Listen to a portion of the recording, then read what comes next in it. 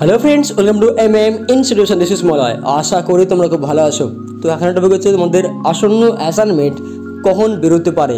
এইটা সব থেকে বড় এখন হাইট টপিক তো এই টপিকের ওয়েস করে কিছু কথা বলার আছে।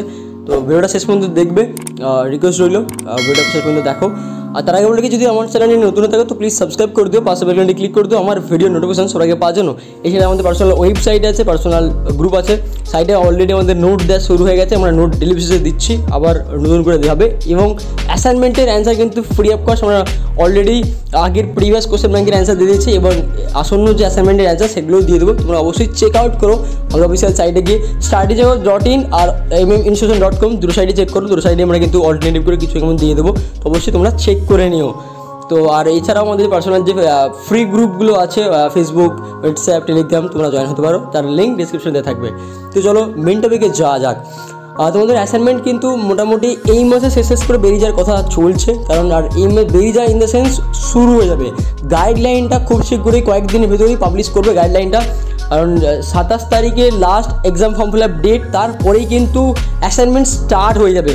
তারপরে কিন্তু অ্যাসাইনমেন্ট গাইডলাইন নয় অ্যাসাইনমেন্ট কিন্তু স্টার্ট হয়ে যাবে। আর যেহেতু তোমরা জানোই যে অ্যাসাইনমেন্ট স্টার্ট হওয়ার মিনিমাম সেভেন ডেজ বা টেন ডেজ বা সামথিং ওই রকম একটা টাইমের আগে কিন্তু একটা গাইডলাইন পাবলিশ করে। তো নিয়ারেস্ট আজকে উনিশ তারিখ, কুড়ি বাইশ তারিখের মধ্যে কিন্তু একটা গাইডলাইন পাবলিশ করিয়ে দেবে, ঠিক আছে? তো তার জন্য তোমরা রেডি দেখো দ্যাট টাইম আর এই মাসে শেষ করে কিন্তু অলমোস্ট মানে অ্যাসাইনমেন্ট পরীক্ষা শুরু হবে। সেই রকমই আমাদের নিউজ আছে আমাদের তরফ থেকে। আর অ্যাসাইনমেন্টের কাজ অলমোস্ট পুরো কমপ্লিট হয়ে গেছে। এবার খুব শীঘ্রই যে কোনো মুহূর্তে অ্যাসাইনমেন্ট কিন্তু পাবলিশ হতে পারে বলে জানা যাচ্ছে আমাদের তরফ থেকে। এবার পুরোটাই আনঅফিসিয়াল নিউজ আমরা জানতে পেরেছি, তাই জন্য শেয়ার করলাম। এটা এবার দেখা যাক কতটা কী হয়, কারণ আনঅফিসিয়াল নিউজ প্রচুর আসছে এরকম। তো আই হোপ যে এটা একটু একটু হলেও একটু কারেক্ট হবে আই থিঙ্ক অনেকটা সিরোডি নিয়ে জানা মানে অনেকটা সিরোডি নিয়ে সূত্রের হাত ধরে জানা হয়েছে। তো লেটসি দেখা যাক, যদিও এখন অফিসিয়াল নিউজগুলো আনঅফিসিয়াল হয়ে যাচ্ছে অফিসিয়াল নিউজগুলো কোনো ভরসাই নেই, যেখানে অফিসিয়াল নিউজে বলা ছিল আগস্টের শেষ লাস্টের দিকে ফাইনাল এক্সাম হয়ে যাবে, যেখানে অ্যাসাইনমেন্ট এখন কমপ্লিট হয়ে যাবে কথা তারপরেও কিন্তু এখন অ্যাসাইনমেন্ট নিয়ে এখন চলে আছে।